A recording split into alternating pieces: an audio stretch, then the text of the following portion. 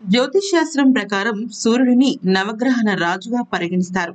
సూర్యుడే భూమిపై జనులందరికీ రక్షకుడిగా ఉన్నాడు. అంతేకాకుండా మిగిలిన గ్రహాలను కూడా నియంత్రించేది కూడా ఈయనే. సూర్యునికి శక్తి స్థానం అధికారం కారకంగా భావిస్తూ ఉంటారు. అయితే ఇక సూర్యుడు ఒక రాశి నుంచి మరొక రాశిలోకి ప్రవేశించినప్పుడే సంక్రాంతి అని పిలుస్తుంటారు. ప్రస్తుతం మేషంలో సంచరిస్తున్న రవి మే పద్నాలుగు నుంచి అంటే రేపటి నుంచి ఈ రాశి నుంచి నిష్క్రమించి వృషభంలో ప్రవేశించనున్నాడు. దీనే వృషభ సంక్రాంతి అని కూడా అంటుంటారు అనుకున్న లక్ష్యాలను సాధించడానికి సూర్యుడు మనల్ని ప్రేరేపిస్తాడు. శక్తి కారకుడుగా పరిణమించే భాస్కరుని స్థితి మార్పు అన్ని రాశులను ప్రభావితం చేస్తుంది. ఈ నేపథ్యంలో వృషభ సంక్రాంతి వల్ల ఏ ఏ రాశులు అనుకూల ఫలితాలు ఉంటాయో ఇప్పుడు తెలుసుకుందాం. మొట్టమొదటి రాశి గురించి చెప్పాలి అంటే కర్కాటకం. ఈ రాశి నుంచి సూర్యుడు రెండవ పాదం యజమానిగా పరిగణిస్తారు.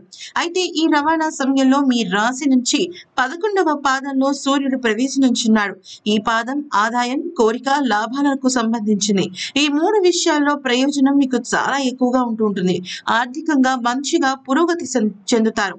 ప్రభుత్వం నుంచి ప్రయోజనం అందుకుంటారు. ఈ సమయంలో మీకు సీనియర్ అధికారుల మద్దతు ఉంటుంది. అన్ని విషయాలలో లాభదాయకంగా కూడా ఉంటుంది.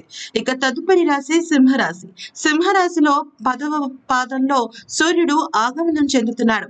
ఫలితంగా కెరియర్ పేరు కీర్తి ప్రతిష్టలు పెరుగుతాయి. ఈ మూడు అంశాల్లో విజయం సాధిస్తారు. ఈ సమయంలో మీరు మీ ఉద్యోగానికి లేదా వ్యాపారానికి కెరియర్కు సంబంధించి ఏ నిర్ణయం తీసుకున్నా కూడా అది మీకు పాజిటివ్గా మారుతుంది. కాకపోతే మీ ప్రత్యర్థులతో జాగ్రత్తగా ఉండాల్సిన సమయం అయితే ఉంది. ఆరోగ్యపరంగా కూడా చాలా అద్భుతంగా ఉంటుంది. ఇక తదుపరి రాశి వృశ్చిక రాశి.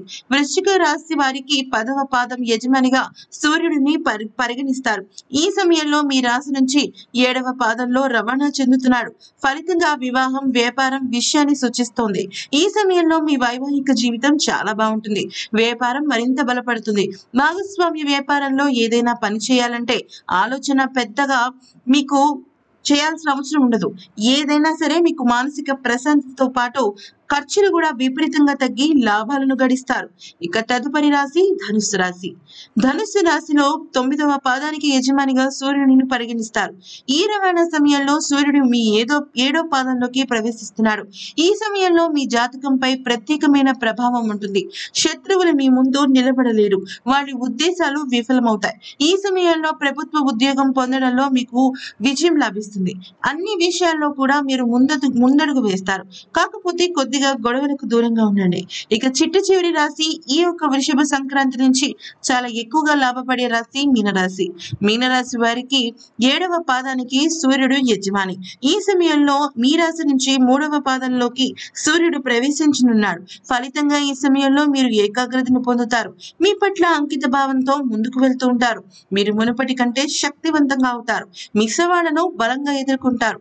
కెరియర్ పరంగా మీరు చాలా కాలంగా ఎదురు చూస్తున్న శుభవార్త మిమ్మల్ని పలకరిస్తుంది. మరి విన్నారు కదా ఫ్రెండ్స్ ఇటువంటి ఎన్నో వీడియోస్ కోసం దయచేసి ఛానల్ని సబ్స్క్రైబ్ చేసుకోండి.